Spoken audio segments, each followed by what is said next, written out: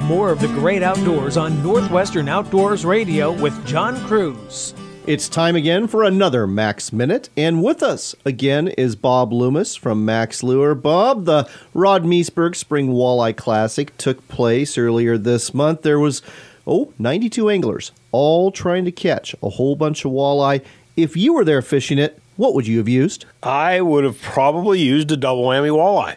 Well, the biggest walleye that was caught there was an 8.4 pounder, and there was a lot of walleye caught as well. Uh, only one team was skunked, so they were using something that was working good. But why the double whammy, which I know a lot of people were using there? Well, the double whammy walleye is a crawler harness setup, which means that it has, you know, a pair of number four hooks that are relatively separated. You know, they're separated by a couple inches. And then you have beads. Beaded products with a spinner blade is still one of the largest crawler harness setups in the world for walleye. So, with the high UV beads that we have on it, with the wedding ring band, and with the smile blade that we have on top, which obviously creates wobble behind it because it's an offset inline ultralight spinner. You can get some tremendous, tremendous forage based colors for what you need in any given lake.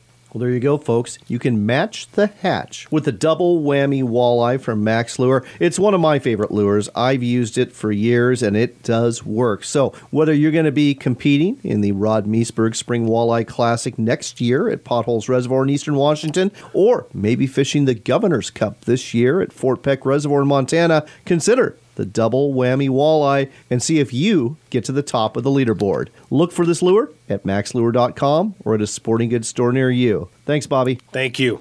I'm Bob Loomis and I fish for walleye. Sometimes when I'm out on the water, I feel like a destroyer captain hunting for targets with my electronics. I'm not hunting submarines though, I'm hunting fish, and when I find that big one on the fish finder, I want to make sure she's going to bite. That's where the Smile Blade Slow Death Rig from Mack's Lure comes in. The Smile Blade spins and flashes at ultra slow speeds, and the one of a kind red hook keeps that bait moving in a way the fish can't resist. It's the Smile Blade Slow Death Rig, only from Mack's Lure.